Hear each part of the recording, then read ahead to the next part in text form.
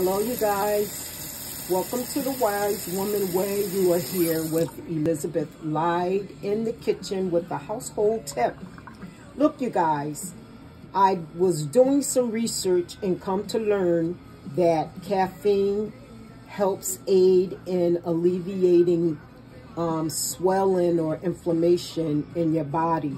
So I'm thinking with my fingers feeling a little tingly, I instead of the coffee grinds that I used this morning, instead of tossing them in the trash, I figure I'll go ahead and do this test where I put the coffee grinds on my hand and I just rub them like this for about 15 minutes.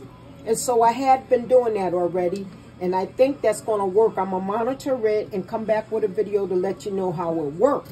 But I also thought of another idea, and this is hot water, not too hot where you can burn yourself.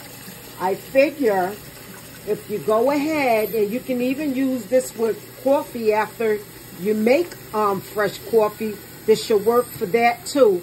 What we're going to do you don't want to burn yourself, so make sure the coffee is um, lukewarm or when you put it in the water. So now I'm going to just rest my hands in this here, you know, coffee grain water. This was going to be tossed in the trash, of course.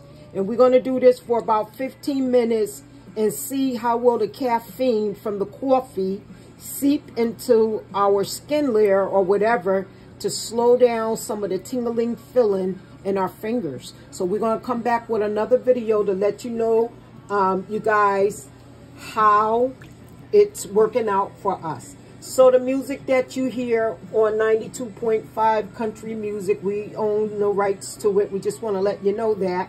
Anyway, my hands is wet. Can't turn it off right now. So, listen, come on back here, and we're going to give you the end results of our findings with caffeine. Our hands you know, um, submerged in caffeine water. Okay, you guys, if you like what we do, please share, like, um, shoot us some comments. Um, also, subscribe and share. Okay?